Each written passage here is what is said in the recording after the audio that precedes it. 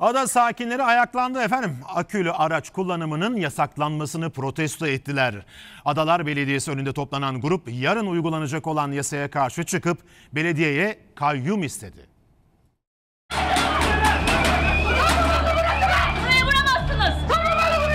Başkanı gelsin. Başkanı konuşan başkanı konuşuyor. Entel de insanlar var. Bu adada 35 senedir buradayım. Böyle rezillik görmedim. Entel de antel tayfası satın aldı adayı. Adalarda akülü araç kullanımının yasaklanmasını protesto eden ada sakinleri yarın başlayacak yasağa karşı çıktı.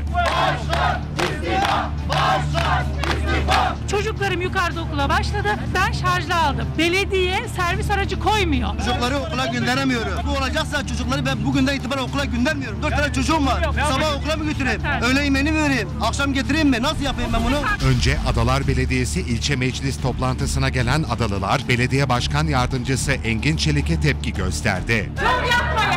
Size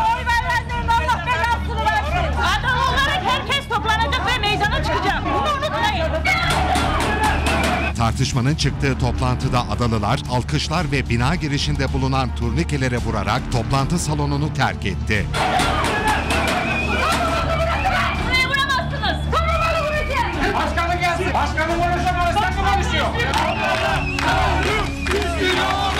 Protesto belediye binası önünde devam etti. Adalarda akülü araçların kaldırılmasına bir gün kala ada sakinleri Adalar Belediyesi önünde protesto gerçekleştirdi. Sabah erken saatlerden itibaren belediye binası önüne gelen araçlarının kaldırılmamasını talep ediyor. Biz burada adalılar olarak yaşıyoruz. Bize kimse bir şey sormuyor. Oturduğu masadan kararlar veriyor. Gelip geçici bütün buradaki siyasetçiler. İçeride siyaset yapıldı. Biz çözüm için geldik. Ne demek insanların ulaşımını, özgürlüğünü engelliyorlar? Yarın ne yapacaksın?